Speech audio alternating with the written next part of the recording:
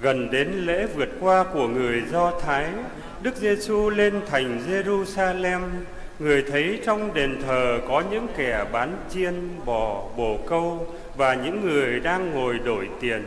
Người liền lấy dây làm roi mà xua đuổi tất cả chiên cũng như bò ra khỏi đền thờ. Còn tiền của những người đổi bạc, người đổ tung ra và lật nhào bàn ghế của họ. Người nói với những kẻ bán bồ câu, đem tất cả những thứ này ra khỏi đây, đừng biến nhà cha tôi thành nơi buôn bán. Các môn đệ của người nhớ lại lời đã chép trong Kinh Thánh, vì nhiệt tâm lo việc nhà Chúa mà tôi đây sẽ phải thiệt thân. Người Do Thái hỏi Đức Giêsu, ông lấy dấu lạ nào chứng tỏ cho chúng tôi thấy là ông có quyền làm như thế? Đức Giêsu đáp: Các ông cứ phá hủy đền thờ này đi, nội ba ngày tôi sẽ xây dựng lại. Người Do Thái nói: Đền thờ này phải mất 46 năm mới xây xong, thế mà nội trong ba ngày ông xây lại được sao? Nhưng đền thờ Đức Giêsu muốn nói ở đây là chính thân thể người. Vậy khi người từ cõi chết trỗi dậy, các môn đệ nhớ lại người đã nói điều đó họ tin vào kinh thánh và lời Đức Giêsu đã nói. Đó là lời Chúa. Lạy Chúa Kitô, lời Thiên Chúa.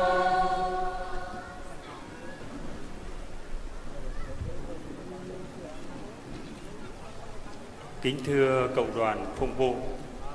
cộng đoàn chúng ta có lẽ là đã được tham dự nhiều lễ kỷ, nhiều lễ cung hiến thánh đường. Chẳng hạn như nhà thờ giáo sư chúng ta đây thì cũng đã 11 năm,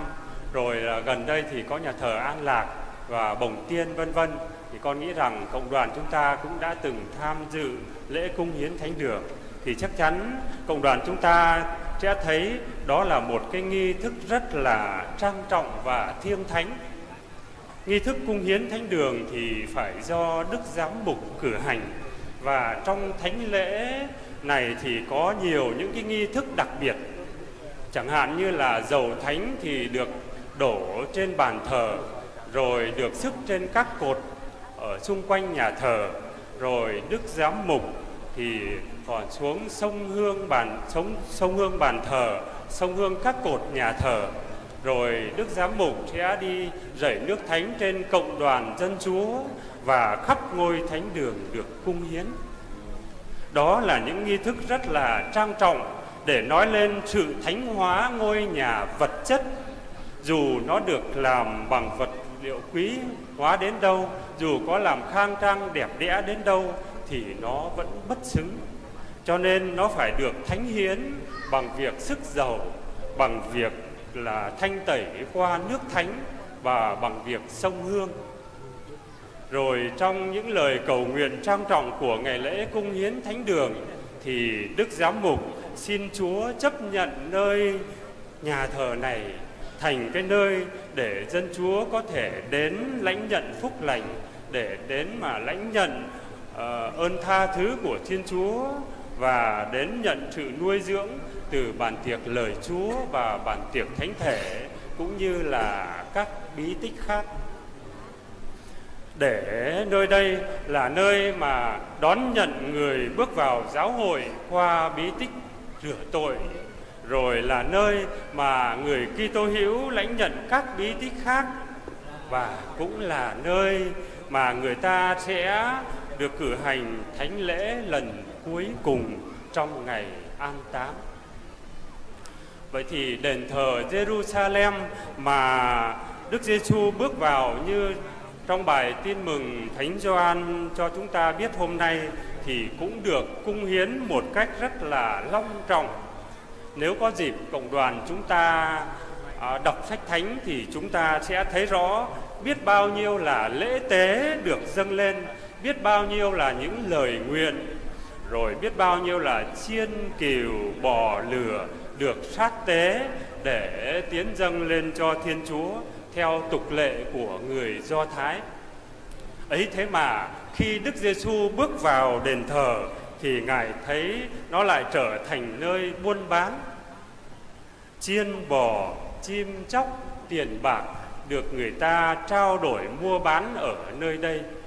Mặc dù lúc ban đầu thì những cái việc đó rất là cần thiết cho những ai mà đến đền thờ có thể mua những vật đó để làm của lễ để tiến dâng cho Thiên Chúa.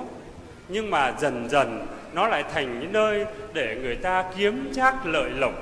để người ta kiếm trác lợi nhuận và là nơi để người ta buôn bán làm ăn, làm mất đi cái sự thiêng thánh của đền thờ. Chúa Giêsu đã bước vào và Ngài đã thanh tẩy cái ngôi đền thờ này bằng việc là Ngài xua đuổi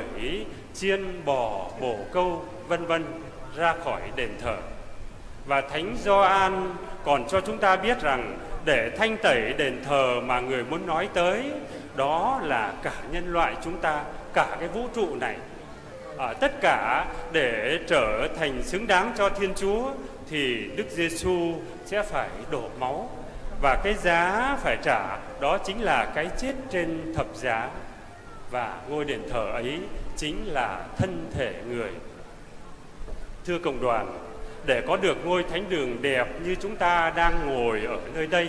thì đã có biết bao nhiêu là những hy sinh vất vả, thời gian, công sức ờ, tiền của vân vân. Và có, để có thể hoàn thành được một ngôi nhà thờ đẹp như thế này, thì ít nhất cũng phải mất vài năm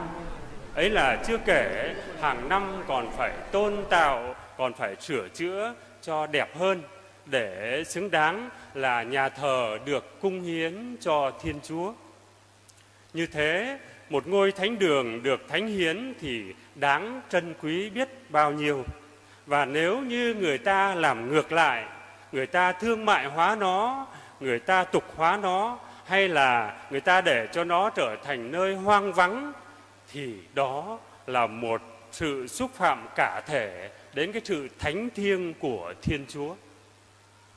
Trong bài đọc một hôm nay, chúng ta vừa nghe, ngôn sứ Ezekiel nói rằng, vinh quang của Chúa đến và tràn ngập đền thờ Jerusalem, và Chúa sẽ ở đấy với dân của người mãi mãi. Nhưng thưa cộng đoàn là sau đó không bao lâu thì cũng chính vị ngôn sứ này trong một thị kiến được Thiên Chúa cho biết rằng vinh quang của Thiên Chúa sẽ rời bỏ đền thờ Jerusalem và ngôn sứ đã thắc mắc thì Chúa cho biết rằng chính vì tội lỗi của dân, sự phản nghịch, phản bội của dân mà Đức Chúa đã rời bỏ đền thờ. Vì thế mà nhiều nhà thờ có to, có đẹp, có lộng lẫy, có làm bằng những vật liệu quý đi chăng nữa, có được thánh hiến đi chăng nữa thì cái vinh quang thiên cái vinh quang thiêng liêng đích thực mà Thiên Chúa muốn để tỏa rạng ở cái nơi này là cần có sự cộng tác rất lớn về đời sống đạo đức của chúng ta. Tâm hồn của chúng ta là những đền thờ thiêng liêng hay như Thánh Phêrô đã nói trong bài đọc 2 hôm nay rằng, chúng ta không phải là những viên đá vô tri vô giác như gỗ đá này, nhưng là những viên đá sống động để xây nên đền thánh của Thiên Chúa. Vì chúng ta là một dân tộc được thánh hiến cho Thiên Chúa và thuộc hàng tư tế của Chúa. Hôm nay cộng đoàn giáo sứ chúng ta kỷ niệm 11 năm ngày cung hiến thánh đường. Nhìn vào nhà thờ, nhìn lên cung thánh, nhìn lên tòa vàng thấy đẹp hơn, lộng lẫy hơn và xứng đáng hơn. Cộng đoàn chúng ta cùng nhau tạ ơn Chúa, tri ân các bậc tiền nhân, quý đấng bậc và tất cả những ai đã có công đóng góp xây dựng vun đắp cho ngôi thánh đường của giáo xứ chúng ta được khang trang đẹp đẽ như ngày hôm nay. Trong khi đó thì có một số nhà thờ ở bên phương Tây à, thường thì bị bỏ hoang hoặc là rất ít người đến nhà thờ vì có nhiều người chỉ đến nhà thờ có ba lần trong đời đó là khi họ được rửa tội khi họ làm đám cưới và khi họ được an táng. Dịp vừa qua con có dịp đi ngang qua đường phổ quang gần sân bay Tân Thân Nhất, thành phố Hồ Chí Minh thì con có nhìn thấy một ngôi nhà thờ cũng nhỏ nhỏ xinh xinh, nhìn bóng dáng của nó thì thật là đẹp, nhưng lại bị rêu phong và mốc mát con hỏi ra thì mới biết rằng cái ngôi nhà thờ ấy đã bị trưng dụng để làm kho chứa gì đó từ năm 1975 cho tới nay. Như vậy, họ đã làm tục hóa ngôi nhà thờ của Chúa của giáo hội. Còn ngôi nhà thờ của giáo sứ Hoàng Xá chúng ta đây thì chắc là không như vậy rồi. Ở đây vẫn thờ phượng Chúa đầy ắp các tín hữu, các thánh lễ, các giờ kinh vẫn được cử hành trang nghiêm và suốt sáng. Cộng đoàn chúng ta vẫn đến đây để hiệp dâng thánh lễ hàng ngày, để nghe lời Chúa, để lãnh nhận các bí tích. Nhưng thưa cộng đoàn, nếu như chúng ta còn thiếu điều này thì chúng ta cũng sẽ làm cho ngôi nhà thờ này và đền thờ tâm hồn của chúng ta trở nên hoang hóa mốc mác, trở nên vắng vẻ như chùa Bà Đanh. Ấy là khi những điều chúng ta cử hành ở nơi đây, nó không sinh hoa trái trong tâm hồn cũng như là trong đời sống của mỗi người chúng ta. Lời Chúa thì vẫn được gieo hàng ngày, nhưng lại không thấm được vào trong cuộc sống mảnh đất tâm hồn nơi chúng ta có thể là những bụi gai, có thể là những sỏi đá khô cằn làm cho lời chúa không bén rễ được, bị chết nghẹt và chết khô rồi ơn chúa chúng ta lãnh nhận, có khi lại không sử dụng cho nên, hoặc là làm phí phạm cách nào đó các bí tích chúng ta cử hành, chẳng hạn như là bí tích hôn nhân, thì trong đời sống hôn nhân và gia đình, có khi chúng ta lại không sống được như Chúa và giáo hội mong muốn. Rồi được rửa tội là một người tín hữu, nhưng nhiều khi chúng ta lại sống thiếu đức tin và còn nghi ngờ. Được lãnh nhận bí tích thêm sức như một chứng nhân của Chúa Kitô, nhưng có khi là đôi khi chúng ta lại gây gương mù gương xấu cho người khác chăng vân vân và vân vân thế thì tất cả những cái điều ấy, nếu có như vậy thì chúng ta đã làm cho ngôi thánh đường nguy nga lộng lẫy này cũng trở nên như những ngôi nhà thờ vắng lặng ở bên châu Âu kia, hay là như nhà thờ trên đường phổ quang kia đã bị trưng dụng để làm kho chứa gì đó nên bị mốc mác và tiêu điều hoặc là như đền thờ Jerusalem đã bị biến thành nơi buôn bán vậy. Chúng ta cùng cầu xin Chúa qua lời chuyển cầu của Đức Trinh Nữ Maria Quan Thầy, cho chúng ta không chỉ là thánh hiến cái ngôi nhà thờ của giáo xứ này,